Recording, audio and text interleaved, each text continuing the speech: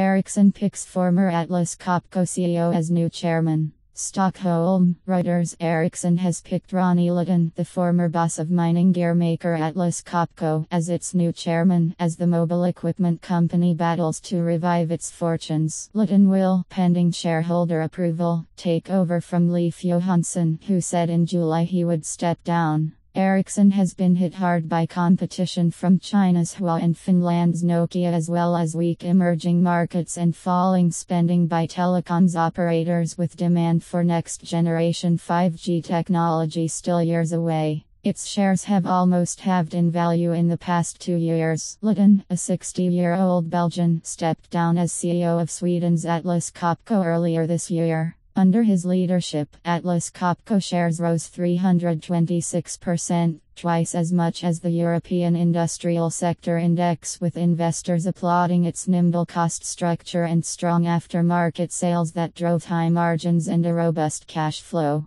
Leten is also leaving his position as chairman at Electrolux, the home appliance maker said in a separate statement on Monday. Mr. Leten is a very skilled businessman, technically savvy and strategically versatile. Johan Forssell, chairman of Ericsson's nomination committee, said in a statement. At 0720 GMT, Ericsson shares were up 2% at 47.66 Swedish crowns. Ericsson drafted in new CEO, Börje Ekholm, earlier this year, but corporate activist investor Cevian Capital, which has bought a more than 5% stake, has been pushing for further change. Our standards, the Thomson Reuters Trust Principles, based on the materials of the site,